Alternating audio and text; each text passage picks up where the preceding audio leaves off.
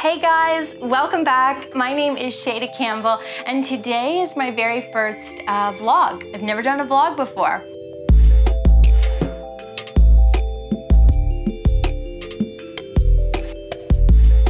So grab a cup of tea and a notebook and let's spend an afternoon together. I feel like it's been a minute since we hung out. Been on YouTube almost four years um, in a couple months, and I really haven't done a lot of personal content. So we are starting that today, and I'm excited about it. I'm in my living room. You guys don't get to always see this.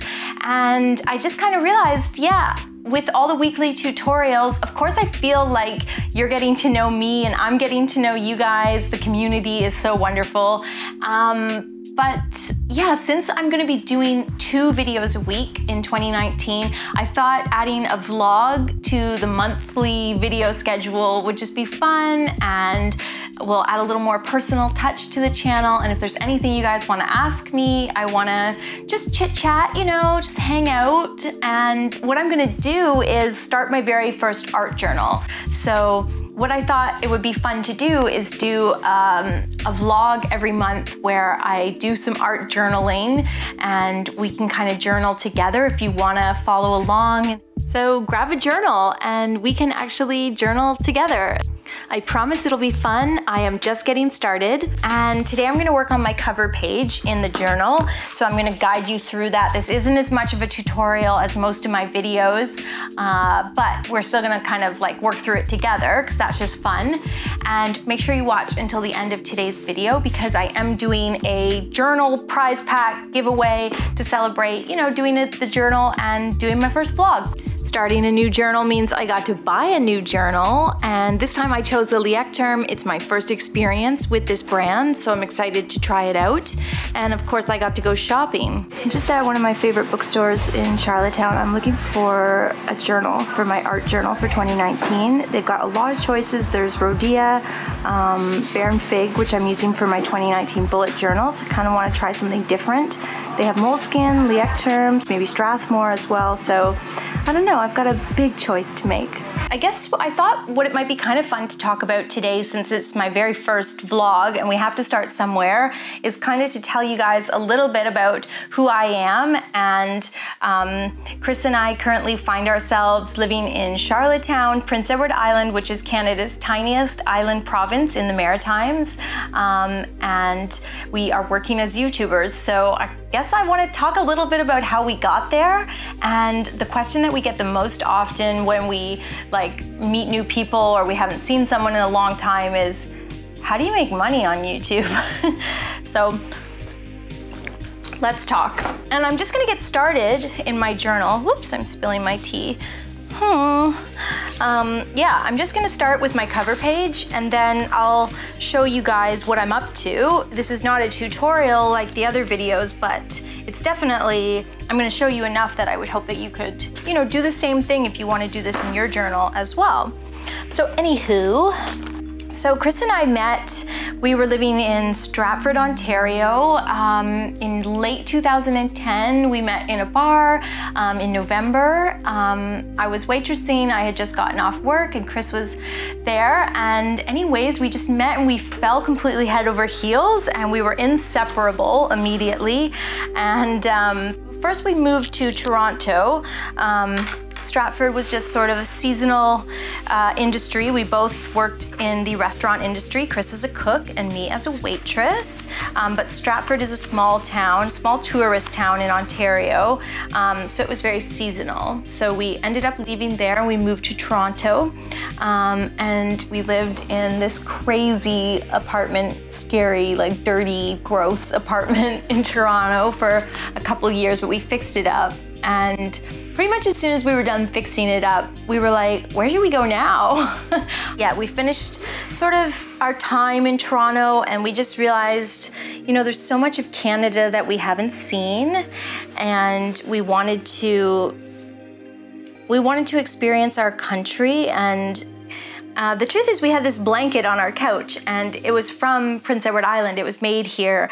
And one day we were just having tea and we were like, why not PEI? Why not Prince Edward Island? It's this tiny little province and we don't really know that much about it and it's part of our country and we could go there and we could work and and we did the road trip out to the East Coast, out to Prince Edward Island and we did our first summer here in 2015. That was also when I started the YouTube channel just before we left the city and we were just on this crazy adventure. We were so excited about it and everything just felt really new and really fresh.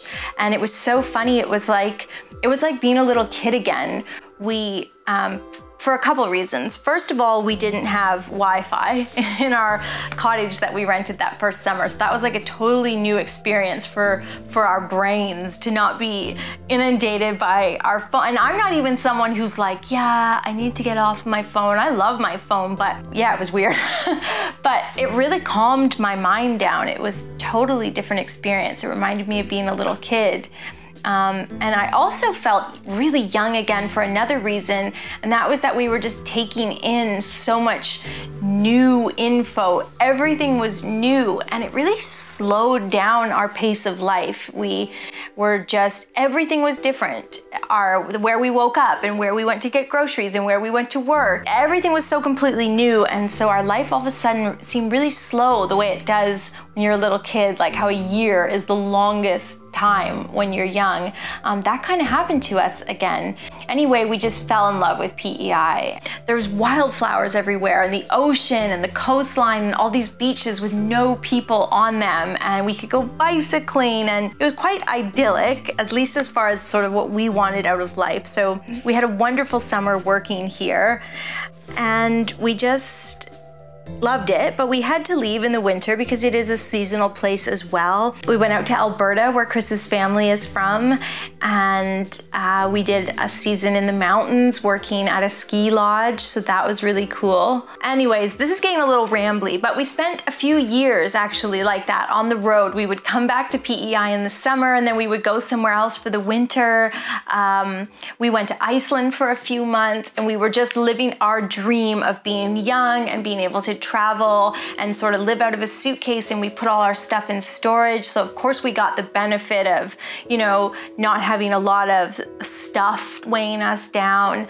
It was a great experience and um, at the end of it, I guess, at the end, we decided that we would like to move to Prince Edward Island, at least for a while.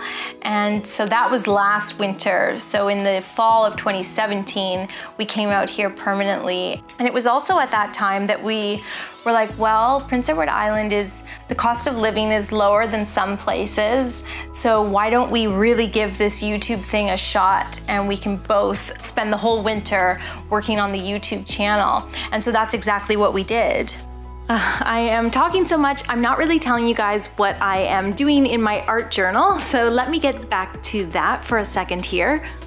I'm just writing out a passage from one of my favorite books and I want to create a graphic page that's full of text and I think the text is almost going to become like a pattern on the page and then I'll put a little painting on top using a piece of ripped paper.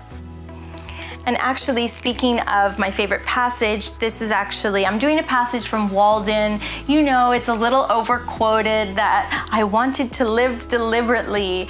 Um, Thoreau is a favorite um, of mine and Chris's, and we use some of his um, philosophy, some of his writings at our wedding. And yeah, so I just think it'll be like a really appropriate way to start my art journal. So, anyways, where was I? Um, yeah, so in terms of YouTube, we hit the ground running when we moved in here last year. We wanted to turn this into a profitable profitable business for both of us. And um, the way we do that, basically, long story short, is that we've created this content and we get to create whatever type of content that we want, which is that's the most amazing thing I think about YouTube is that if you have an idea um, and a vision, you just you get to go after it and do it for yourself, and no one can stop you, and no one can tell you to do it this way or you're doing it wrong or anything. So my vision has always been that I want want to create art content, but not art content that just shows you what I can do and that, you know, potentially alienates people and makes them feel, oh, I could never do that. I want to create art content and creative content that makes you feel like you want to pick up a, pe a pencil or a pen or a paintbrush. I want to create content that's inspiring and interesting and hopefully helpful. The thing about creating a channel is that once you have an audience, once I have you guys, this community, uh, you can sell advertising spots on your videos. And that's basically how we make money. And so we sell ad spots on the videos. And I know that's sort of a contentious topic and everybody who is a blogger and YouTuber has a different take on that. And some people will say, I'll never put ads on my content. It'll always be ad free. And I am the complete opposite. I always say, I'm gonna place ads because the ads, by placing ads, you guys get free content and the corporations pay the bills. Uh, so instead of me saying, hey, I'm doing a watercolor course and it's $300, I really hope you'll join me, I'm doing a watercolor course all the time, every week, every month, and it's always free. And even if you could afford it, I hope you will think of, well, obviously there's tons of people that can't. And, and there's kids out there that wouldn't have access to expensive courses and people all over the world. And so it's this free community where everybody gets to come in the door. And I just love that. And the way I do that is to get the big companies to pay um, by placing these ads and then you guys get all this free content. And I'm not saying I never would do in-person courses or potentially a one-off course and I don't think it's bad to spend money on those courses either. Obviously learning is always a good idea. Uh, but yeah, I just love the way things are set up because I can sell these ad spots. And of course, by offering free content to you, getting paid through ads, I get to make a living and I get to make better videos. So when you see an ad, know that you're getting this for free and the quality of the videos is going up. I know so many of you have been so sweet saying how you've seen an improvement over the years and uh, yeah, I mean, Chris and I have both become like videographers over the last two or three years. So yeah, okay, so that's, that's pretty much, um, I guess what I wanted to tell you guys about YouTube and, and what we're up to around here. Just finishing up the writing portion here. I love this line. Our life is frittered away by detail. Simplicity, simplicity, simplicity. So true, we just get so lost in the little things. What I wanna do now is like, I just brought a few pieces of watercolor paper over and I want to put one in the middle. See how the text becomes like a pattern it's of course the words are meaningful to me, but even if you can't read the whole passage, it doesn't really matter because it creates this backdrop. And I just wanna paint like a really simple flower there. And then I am going to put 2019 on there as well and just kind of make it like a very, very simplified, you know, cover page. I just want to paint like a very simplified flower and I'm gonna start with some little leaves and if you are following on, along, I'm, I just mixed up like a very dark green. Uh, and I'm using like a very, very small little detail brush. I like a brush that is uh, a round brush, synthetic bristle, but there's no wrong brush. It's just really whatever you're comfortable with. And I am just going to paint very loose, loose watercolor floral yeah, I hope you guys have enjoyed this vlog. I mean, it might be, maybe I'm a little stiff today. I think I'm trying to like let you know who I am and like our whole story, but I think going forward, I just will be, you know, kind of want to share what's going on with me this month or this week and just do, do a little bit of like, like I said, personal sharing, little chit chat. So today we covered a lot of ground with like how I make money on YouTube and these big topics, but we won't always get so, so complicated. But if there's anything that you wanna know or stuff that you wanna chat about, questions, just leave them below and um, maybe one month I'll just do like answering some, some questions and stuff like that and we'll just do sort of do another art page. Oh, and speaking of the journal too, like if there is um, something that you'd like to see in an art journal or for a sketchbook piece or something, then that's also stuff that we could work on together with the in these vlogs. All I've done now is add a little bit more water to that dark green so that I'm basically doing the same kind of leaf shape um, but just in a lighter color, which is kind of like a nice design element. I'm gonna do yellow flowers, you guys. I'm always a bit like, color scares me, but I'm just gonna do it. I'm gonna get wild here.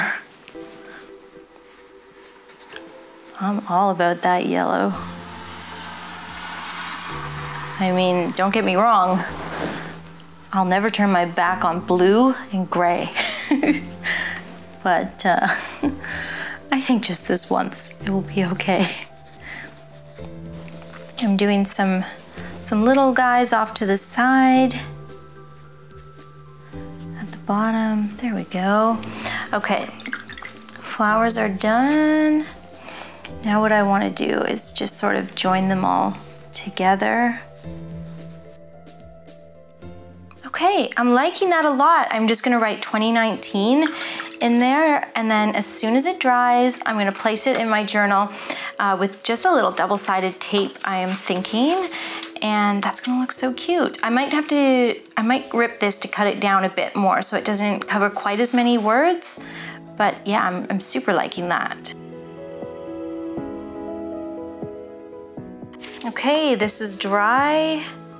I'm just adding a little bit of double-sided tape I'm gonna tape it in the center of the text here and then I will have completed the first page in my art journal. Like I said, an art journal, I think, can just be whatever you want it to be. What I'm planning for mine, ooh, almost out of tape. What I'm planning for mine is to basically have it be just a bunch of like things that inspire me and motivate me. Yeah, I don't know, maybe next time I'll know more what it is actually going to be. And I'd love for you guys to comment below and let me know what your art journal is to you. Like, is it mostly a sketchbook or is it mostly a diary? Um, or is it like, do you do a lot of collage or something like that? So, but I definitely think it can be whatever you want. I'm gonna finish it by just adding a little bit of pen to the illustrate or to the watercolor so that I kind of bring the pen from the back up onto this part of the illustration. I'm basically just adding the center or the stamen to, to the flowers. And then I am just going to write 2019 here. People always say my ones look like sevens and they totally do. okay, anyways, I think that's it. My art journal cover page is looking pretty. I'm super happy with it.